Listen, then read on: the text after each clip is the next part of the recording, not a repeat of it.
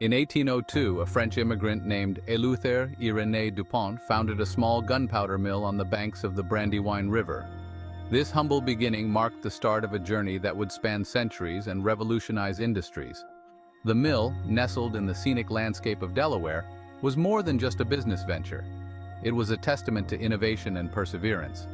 Little did he know that this enterprise would grow into one of the largest and most influential chemical companies in the world, DuPont. From its early days producing gunpowder, DuPont expanded into a myriad of fields, including chemicals, materials, and biotechnology, shaping the modern world in countless ways.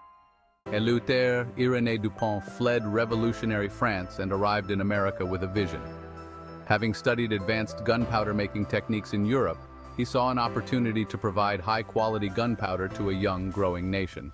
In 1802, Eleuthère Irénée du Pont, a French immigrant, built his first gunpowder mill along the scenic Brandywine River in Delaware. This location was chosen for its ideal conditions, including the river's strong current and the availability of high-quality raw materials. The river's water power fueled the production of gunpowder, driving the mill's machinery with remarkable efficiency. This innovative use of water power was a significant advancement in manufacturing technology at the time. The gunpowder produced here soon earned a reputation for being of superior quality, thanks to DuPont's meticulous attention to detail and commitment to excellence. The mill's output was highly sought after for both civilian and military applications. By the War of 1812, DuPont had become a crucial supplier to the U.S. military, providing the essential gunpowder needed for the war effort. This partnership solidified DuPont's reputation and laid the foundation for the company's future success in the industry.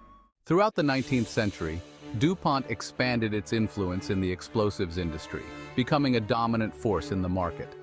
They supplied not only the U.S. military with essential explosives during critical conflicts like the Civil War, but also supported various industries such as mining and construction, which relied heavily on their products for progress and development. DuPont's expertise in chemicals and explosives cemented its role as a key player in America's industrial growth. Their innovations and advancements in chemical processes not only boosted their own success, but also contributed significantly to the broader industrial landscape of the United States, shaping the future of American industry. As the world entered the 20th century, DuPont began to diversify. Moving beyond explosives, the company became a pioneer in chemicals, introducing synthetic materials like nylon, Teflon, and Kevlar. These innovations not only transformed industries, but also everyday life. From its origins as a humble gunpowder mill, DuPont evolved into a global leader in chemicals, materials, and science. Its legacy of innovation continues to impact everything from fashion to space exploration. From gunpowder to groundbreaking materials, DuPont's incredible journey is a testament to the power of innovation and adaptation. Subscribe to MGO TV Media US History channel for more stories that shaped America.